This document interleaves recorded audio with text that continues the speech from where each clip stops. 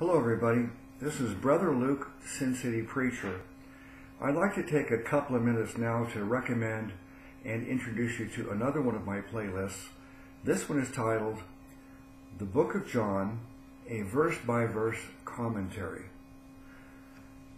Now, I've said this many times on my videos uh, in this in this series and and for years now on YouTube. You may have heard me say this.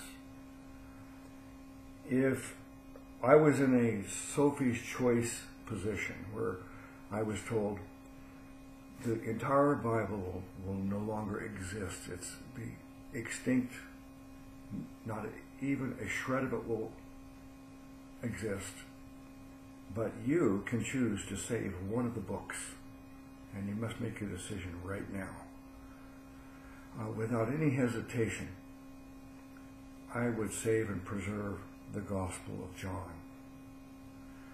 Uh, that's how important the book is. That's how much I love the book. And that's how much I urge everyone to read and study this book above all others.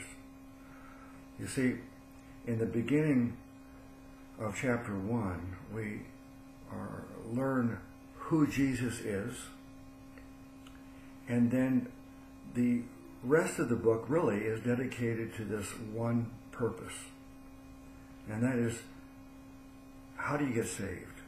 In fact, in John's closing thoughts at the end of the book, he says that the reason he wrote the book was to teach us how to be saved.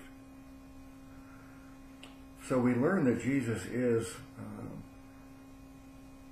uh, eternal He's not created.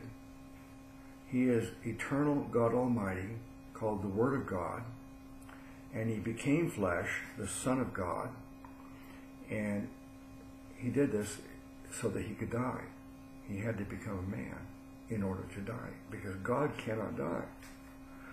He had to die as a means of salvation for us, because man was in a hopeless, hopeless situation, so God intervened on our behalf. And he, he died and paid for our sins, and he rose from the dead.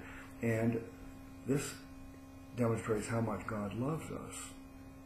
God so loved the world that he gave his only begotten Son, that whosoever believeth in him should not perish, but have everlasting life. That verse is in the book of John, John 3.16. So we, we learn that Jesus is eternal God Almighty, manifest in the flesh as the Son of God, that he died for our sins, was raised from the dead, and we're saved simply by believing on Jesus and his finished work on the cross for us.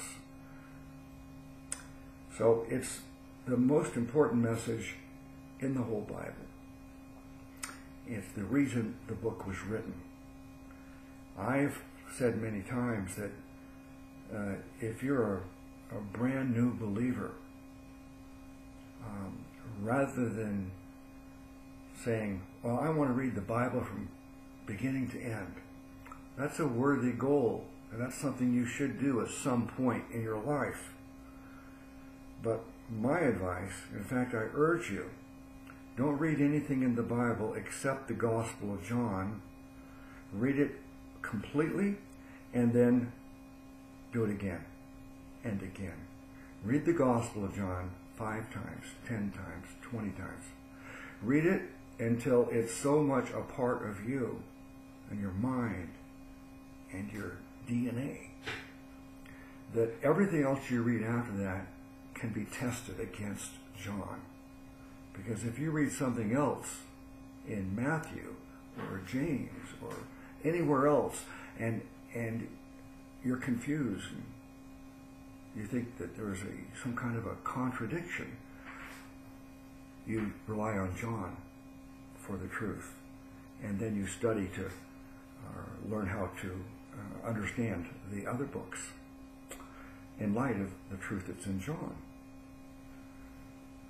So this is a verse by verse commentary. I go through the book of John one verse at a time, and I, um, I take 40 videos. Each video is between 30 minutes and an hour. So there's a lot of content, and uh, I took my time to go through it very thoroughly. Uh, I hope you'll watch it and, and comment and share it. Bless you in the name of our great Savior God, Jesus.